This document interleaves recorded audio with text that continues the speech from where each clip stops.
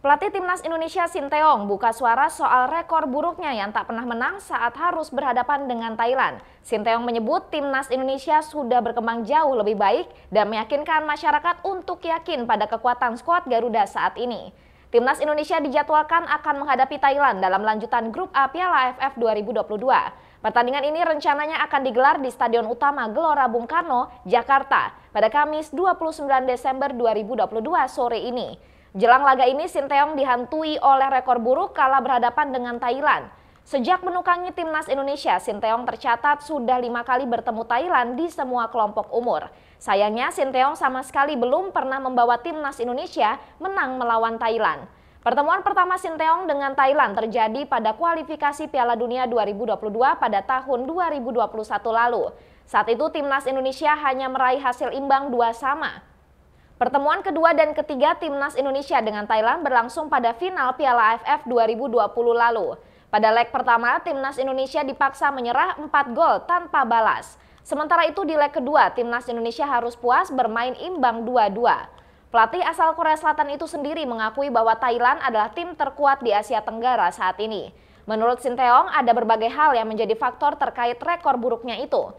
Namun Sinteyong kini yakin timnas Indonesia sudah berkembang jauh lebih baik. Juru taktik berusia 52 tahun itu pun lebih percaya diri timnas Indonesia kali ini bisa mengakhiri rekor buruk melawan Thailand.